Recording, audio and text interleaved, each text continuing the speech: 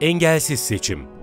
Seçmen kütüğünde engelli kaydınız varsa veya 75 yaş ve üzeri seçmenseniz sandığın konulduğu bina veya yapıların giriş katlarında oyunuzu rahatlıkla kullanabilirsiniz.